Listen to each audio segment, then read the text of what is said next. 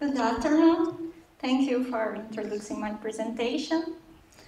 Uh, I'm a graduate student, master level in Brazil, and I'm going to present here some of our initial results with this new set of the features based on voltage current trajectory.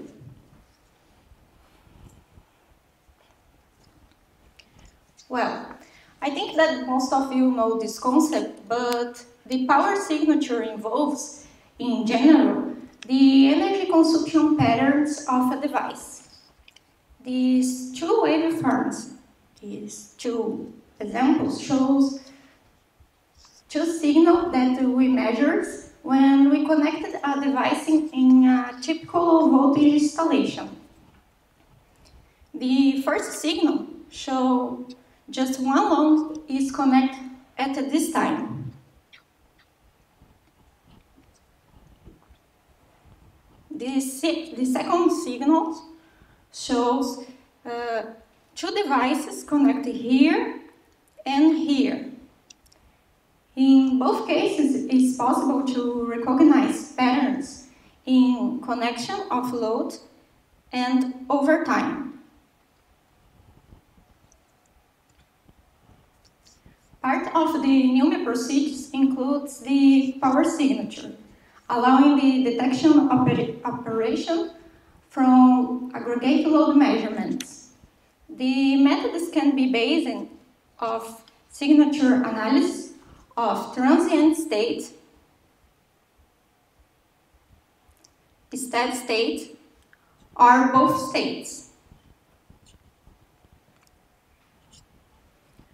One method to use uh, for loads is the VI tra trajectory. This method consists in plot one cycle of voltage per one cycle of current, obtained a shape. This figure shows some VI trajectories, such as a drill and lamps.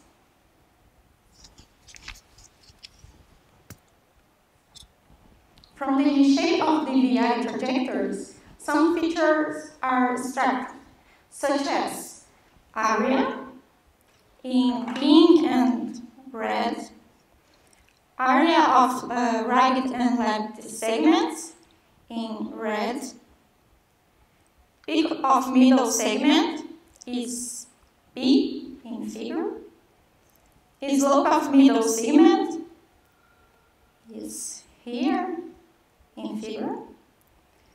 Current span is obtained with this equation and variations of admittance obtained for this equation.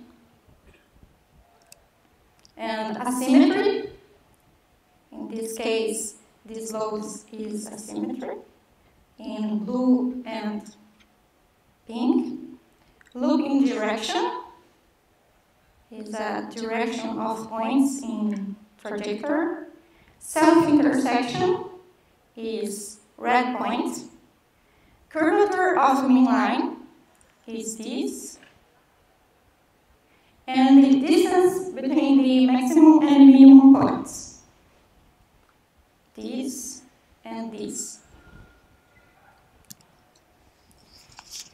And in our work, we proposed new features for the VI trajectory. And we use the VI curve obtained in transient state, which is one of the contributions of this work. So we explain the features. Angle between the maximum and minimum points consisting in obtaining this angle and this angle. The feature overshoot consists in measure the distance between the maximum uh, distance and curves in steady state and transient state. Using the difference between distance in minimum points and maximum points, the difference between points uh, is a um, different difference and two curves. The same applies for the angles. Length is the sum of all points in the trajectory, all points in orange in trajectory.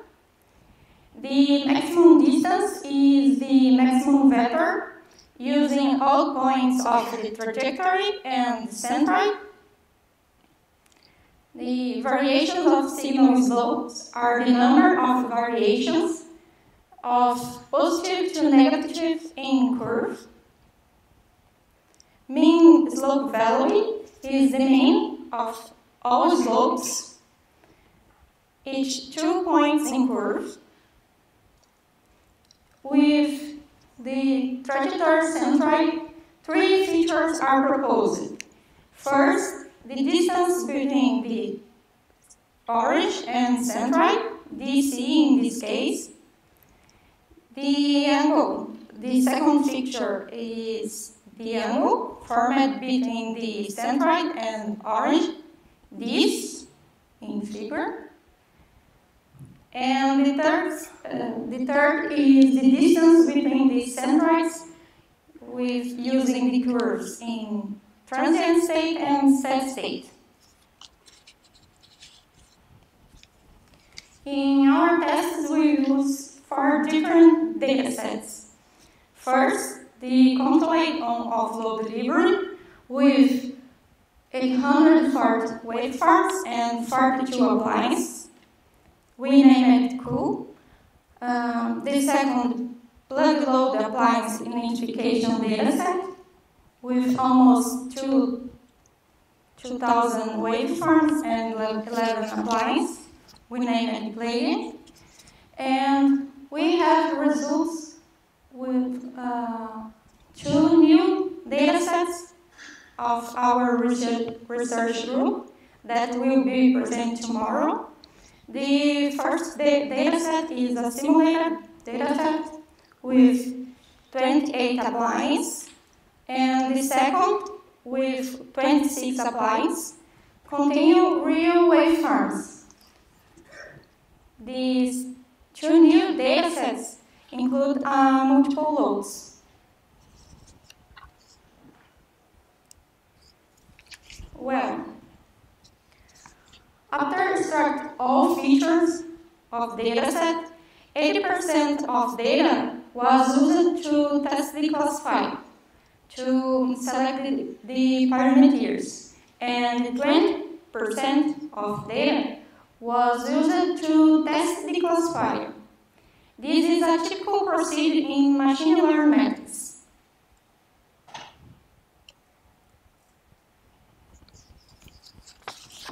In the classification stage, we used three normally used classifiers uh, in order to compare the results.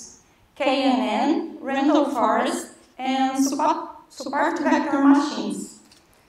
They are all based on supervised classification, as presented in figure.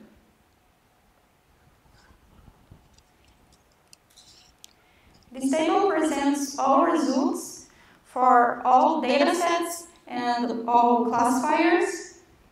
This is the state of art of VI trajectories, and all features is a combination of the proposed features and the state of art features. So, we can observe for the results for COOLL dataset, the all features present the results similar for the state-of-art results, but the others dataset, the proposed features increase in classification performance. The results are presented in terms of the mean and the standard deviation of 10 different combinations of training and set uh, and test sets. We also perform the feature selection methods in order to reduce the number of the features, keeping the performance, classification performance, and two, two methods are tests. the sequential forward selection, we start with empty set and it adds one feature at a time. And the selection backward selection. Uh, the, it starts with all features and remove one feature at a time, excluding the feature that produces the maximum performance from the set. These are the results for feature selection with COOLL dataset. We can observe the results are similar, but we can consider the relevant results this because the number of the features and this because the higher performance and uh, we obtained five features. The five features are area and curvature of midline, and the three proposed features angle between the maximum and minimum points, maximum distance, and difference between the angles in transient and steady state. So the main conclusions are set of new features extracted in steady and transient states with the VI trajectors, results with high uh, accuracy with the proposed features, above 99% uh, for some datasets. The feature selection reduces the number of features, keeping the accuracy. Proposed features are kept in final results all codes can be downloaded in my GitHub. And for feature works, the authors intend to use the proposed features to classify datasets with more multiple loads, as well as embedding the solution in a general purpose hardware. Thanks for your attention.